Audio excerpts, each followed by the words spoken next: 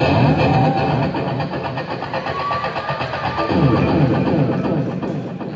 we have anybody that worries too much?